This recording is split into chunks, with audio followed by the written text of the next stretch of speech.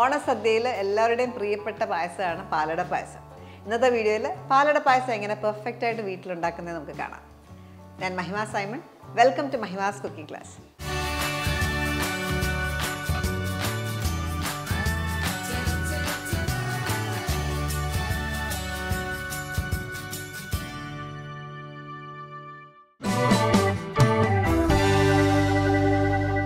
palada payasam ഉണ്ടാക്കാനായിട്ട് നമുക്ക് ആദ്യം ചെയ്യേണ്ടത് പാൽ ഒന്ന് കുറുക്കിയെടുക്കണം. അതിനായിട്ട് നമ്മൾ കുക്കറിലാണ് കുക്ക് ചെയ്യുന്നത് കുക്കറിലേക്ക് ഒന്നര ലിറ്റർ പാൽ ഒഴിക്കാം.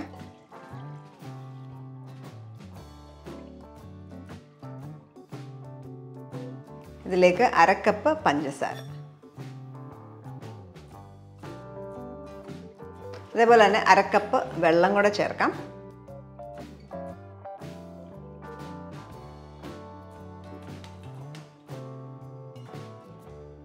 ഇനി പാൽ നന്നായിട്ട് തിളയ്ക്കണം. അപ്പം ഇവിടെ തിളയ്ക്കാനായിട്ട് തുടങ്ങി. ഇനി നമുക്കിത് ഏറ്റവും ലോ ഫ്ലെയിമിൽ വെക്കുക.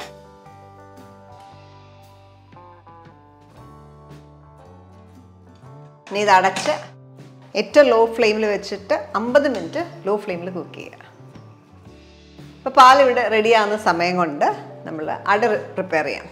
അടയ്ക്ക് നമ്മൾ ഉപയോഗിക്കുന്നത് ഇതേപോലെ ഫൈനായിട്ടുള്ള അരിയുടെ അടയാണ്. ഇതേപോലെ ഇരിക്കും. ഇത് ഷോപ്പുകളിലൊക്കെ ഈസിലി അവൈലബിൾ ആണ്. ഇത് നൂറ് ഗ്രാം എടുത്തേക്കുന്നത് ഇത് നന്നായിട്ട് കഴുകുക. കഴുകിയ ശേഷം രണ്ട് മൂന്ന് പ്രാവശ്യം കഴുകിയ ശേഷം വെള്ളം ഒഴിച്ച് നന്നായിട്ട് വേവിച്ചെടുക്കാം പടയിലേക്ക് ഞാൻ ഏകദേശം ഒന്നൊന്നര കപ്പ് വെള്ളവും ചേർത്തിട്ടുണ്ട്. ഇതിലേക്ക് ഒരു അര ടീസ്പൂൺ നെയ്യും കൂടെ ചേർക്കും. ഇത് ഹൈ ഫ്ലെയിമിൽ ഒറ്റ വിസിൽ വരുന്നവരെ കുക്ക് ചെയ്യുക അപ്പോൾ നമ്മൾ അട പ്രഷർ കുക്കറിൽ കുക്ക് ചെയ്യണം എന്നില്ല നമുക്ക് അല്ലാതെ അടുപ്പ് വെച്ചിട്ട് വെറുതെ കുക്ക് ചെയ്യുകയും ചെയ്യാം. അപ്പോൾ ഒരു ട്വന്റി ടു തേർട്ടി മിനിറ്റ്സ് എടുക്കും അട കുക്കാവാൻ ഇങ്ങനെ ചെയ്യുമ്പോൾ ഒറ്റ വിസിൽ കുക്കായി കിട്ടും. പ്രഷർ കുക്കറിൽ ഹൈ ഫ്ലെയിമിൽ ഒരു വിസിൽ വന്ന ശേഷം ഓഫ് ചെയ്തു. ആ ചൂട് പ്രഷർ മൊത്തം പോയി കഴിഞ്ഞപ്പോൾ തുറന്ന് അട ഇതേപോലെ ഒരു അരിപ്പയിലേക്ക് ഒഴിക്കുക. അതിനുശേഷം റണ്ണിങ് വാട്ടറിലിട്ട് രണ്ട് മൂന്ന് പ്രാവശ്യം നന്നായിട്ട് റിൻസ് ചെയ്യുക. ചൂട് മൊത്തം പോകുന്ന വരെ വെള്ളം ഒഴിച്ച് കഴുകുക. അപ്പോൾ അതിന്റെ പശയും പോവും. ചൂട് പെട്ടെന്ന് പോയി കുക്കിംഗ് സ്റ്റോപ്പോ അപ്പം അങ്ങനെ എടുത്ത് വെച്ചേക്കുന്നതാണ് അതേപോലെ പാൽ നമ്മൾ അമ്പത് മിനിറ്റ് ലോ ഫ്ലെയിമിൽ കുക്ക് ചെയ്തേക്കായിരുന്നു അത് ചെക്ക് ചെയ്യാം.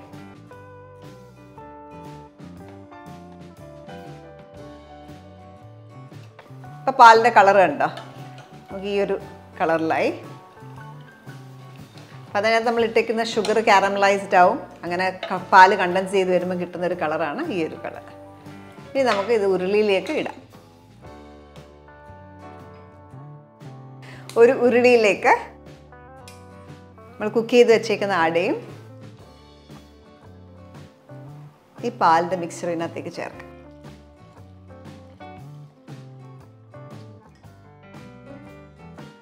പിന്നെ ഇതിലേക്ക് കാൽ കപ്പ് പഞ്ചസാരയും കൂടെ ചേർക്കണം. ചേർത്ത് നന്നായിട്ട് റെഡ്യൂസ് ചെയ്തെടുക്കണം. ഒരു പത്തിരുപത് മിനിറ്റും കൂടെ ടൈം എടുക്കുക തിക്കായി വരാൻ അതുവരെ കുക്ക് ചെയ്തെടുക്കുക. അടയും പഞ്ചസാരയും കൂടെ നമ്മൾ ഒരുമിച്ചിട്ട് കുക്ക് ചെയ്യാൻ തുടങ്ങിയിട്ട് ഇപ്പോൾ പത്ത് മിനിറ്റോളമായി ഹൈ ഫ്ലെയിമിലിട്ടാണ് കുക്ക് ചെയ്യുന്നത്. നമ്മൾ ബേസിക്കലി വറ്റിച്ചെടുക്കുകയാണ് തിക്കാക്കി എടുക്കുകയാണ്. ഇപ്പോൾ ആ പായസത്തിന്റെ ഒരു കൺസിസ്റ്റൻസി ആയിട്ടില്ല. കുറച്ച് നേരം കൂടി ഒരു പത്ത് മിനിറ്റും കൂടെ കുക്ക് ചെയ്യാം. അപ്പോൾ നമ്മൾ പഞ്ചസാരയിലേക്ക് ഇട്ട് പാലും പഞ്ചസാരയും കൂടി ഇട്ട് കുക്ക് ചെയ്തിട്ടാണല്ലോ എടുത്തേക്കുന്നത്. അതിലേക്ക് ഇട്ട് നമ്മൾ അട കുക്ക് ചെയ്യുമ്പോൾ പിന്നീട് ഒരുപാട് വേവത്തില്ല. അതിനകത്ത് അതുപോലെ തന്നെ കിടക്കും. അപ്പോൾ അതുകൊണ്ട് എപ്പോഴും അട കുക്ക് ചെയ്യുമ്പോൾ പ്രഷർ കുക്കറിൽ അല്ലാതെ കുക്ക് ചെയ്യുമ്പോൾ എപ്പോഴും ഓർക്കുക നന്നായിട്ട് പെർഫെക്റ്റായിട്ട് കുക്ക്ഡ് ആയിരിക്കണം. അല്ലെങ്കിൽ ഇതിനകത്തേക്ക് ഇടുമ്പോൾ ഇച്ചിരി കല്ലിപ്പ് പോലെ വരും. നമ്മൾ ആ തിക്നെസ് നോക്കിയിട്ട് എടുക്കും. നമ്മുടെ ഫ്ലെയിമിന്റെ ഇന്റൻസിറ്റി ഒക്കെ വെച്ചിട്ട് ചിലപ്പം കുക്കിംഗ് ടൈം വ്യത്യാസം വരാം. അപ്പോൾ എപ്പോഴും നമ്മുടെ തിക്നെസ് നോക്കിയിട്ട് എടുക്കുക. ഇപ്പോൾ ഏകദേശം ഇരുപത് മിനിറ്റോളം സമയമെടുത്തു. ഇത് കുക്ക് ചെയ്യാൻ തുടങ്ങിയിട്ട് ഇനി ഇത് ഓഫ് ചെയ്യാം. ഇപ്പം കണ്ടോ പാലടയുടെ പരുവായി അവർ തിക്നെസ് ആയിട്ടുണ്ട്. ഇതിലേക്ക് നല്ലൊരു പിഞ്ച് സോൾട്ട് കൂടെ ചേർക്കാം. മധുരം ഒന്ന് ബാലൻസ് ചെയ്യാനായിട്ടാണ്. ഒരു പത്ത് മിനിറ്റ് ഉരുളിയിൽ തന്നെ റെസ്റ്റ് ചെയ്യാനായിട്ട് വെക്കുക. അതിനുശേഷം നമുക്ക് സെർവിങ് ബോളിലേക്ക് മാറ്റാം.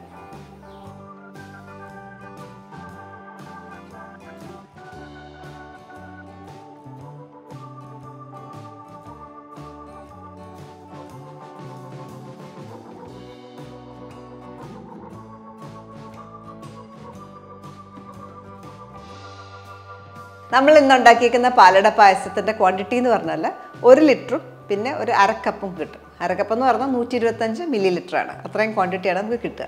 നല്ല ടേസ്റ്റി പായസമാണ്. ഇത് ചൂടോടെ നല്ലതാണ്. നെക്സ്റ്റ് ഡേ തണുത്തിട്ട് കഴിക്കണം. ഒന്നുകൂടെ ടേസ്റ്റിയാണ് ഈ റെസിപ്പി നിങ്ങൾ ട്രൈ ചെയ്യുക. ട്രൈ ചെയ്യുമ്പോൾ ശ്രദ്ധിക്കേണ്ടത് നമ്മുടെ പ്രഷർ ഉപയോഗിക്കുന്ന പ്രഷർ കുക്കറൊക്കെ പെർഫെക്റ്റ്ലി ക്ലീൻ ആയിരിക്കണം. ഒത്തിരി പുളിയുള്ള സാധനങ്ങളൊക്കെ കുക്ക് ചെയ്തിട്ട് നമ്മൾ ഈ പായസം ഉണ്ടാക്കുവാണെങ്കിൽ പിരിഞ്ഞു പോകും. അപ്പോൾ എപ്പോഴും ക്ലീൻ ആക്കി വെച്ചിട്ട് കുക്ക് ചെയ്യുവാണെങ്കിൽ പെർഫെക്റ്റ് ആയിട്ട് ഉണ്ടാക്കാം. കൂടാതെ നമ്മൾ വീഡിയോയിൽ പറഞ്ഞ ടിപ്സൊക്കെ ഫോളോ ചെയ്യുവാണെങ്കിൽ നന്നായിട്ട് ഈ പായസം ഉണ്ടാക്കിയെടുക്കാം. എല്ലാവർക്കും നല്ലൊരു ഓണം ആശംസിക്കുന്നു. Thank you for watching Mahima's cooking class